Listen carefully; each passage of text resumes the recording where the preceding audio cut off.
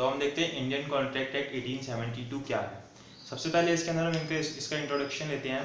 इसके इंट्रोडक्शन के अंदर सबसे पहले हम देखते हैं कि ऑफ़र और एक्सेप्टेंस क्या होता है। ऑफ़र क्या होता है?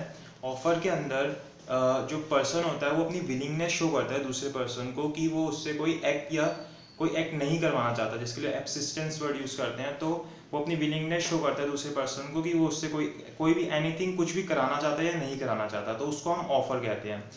तो ऑफ़र को हम प्रपोजल भी कहते हैं, दूसरा नाम प्रपोजल होता है। तो प्रपोजल और ऑफ़र एक ही बात होती है। तो ऑफ़र या प्रपोजल होता है कि एक पर्सन अपनी विलिंगनेस शो करता है कि उसको दूसरे पर्सन से कोई काम कराना है या नहीं कराना। अब उसके बाद क्या होता है? सेकेंड कंडीशन क्या आती है? एक्सेप्टेंस की।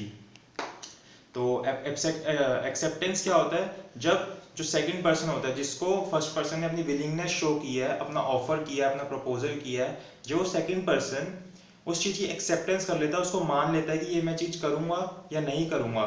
उसके लिए कुछ कंसिड्रेशन उनके बीच में होता है तो जब वो उसको एक्सेप्ट कर लेता है तो वो एक्सेप्टेंस होती है।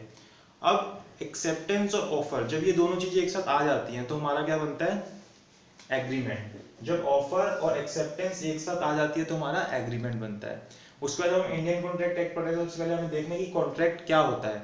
तो कॉन्ट्रैक्ट होता है जब एग्रीमेंट एनफोर्सेबल बाय लॉ होता है तो वो कॉन्ट्रैक्ट बन जाता है। तो कॉन्ट्रैक्ट क्या होता है? जब एग्रीमेंट एनफोर्सेबल बाय लॉ होता है तो वो कॉन्ट्रैक्ट बन जाता है। तो ये हमारा इंट्रोडक्शन हो गया।